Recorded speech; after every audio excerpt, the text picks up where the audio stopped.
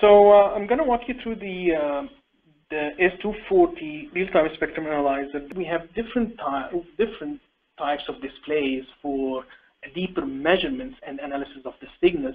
We put them all here so to be easily accessible to the user. So you can switch, okay, this is the, uh, the spectrogram, persistence, uh, which is um, actually uh, look to this signal historically.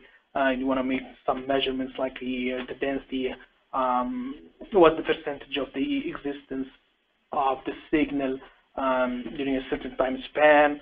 The same for the waterfall if you want to do some time frequency analysis.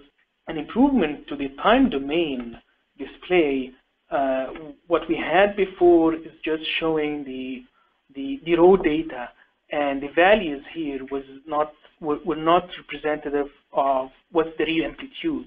So what we made new here is this time domain data was is calibrated and uh, is measured in volts.